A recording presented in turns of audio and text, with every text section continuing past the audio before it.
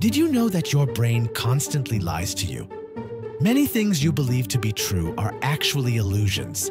Here are five mind tricks that will shock you. Your eyes are deceiving you. Did you know you have a blind spot? In reality, part of what you see every day is completely made up by your brain. Why does time sometimes feel like it's moving faster or slower? Because your brain alters your perception of time based on how it records memories. Ever jolted awake after feeling like you're falling in a dream?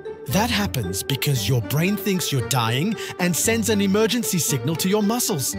Ever walked into a room and suddenly forgot what you were about to do? This is called the doorway effect. Your brain resets information when transitioning between environments. If someone touches their nose while talking to you, they might be lying. Lying stresses the brain, which can cause the nose to itch. Your brain will keep deceiving you. But if you want to uncover more hidden tricks, don't miss my next video.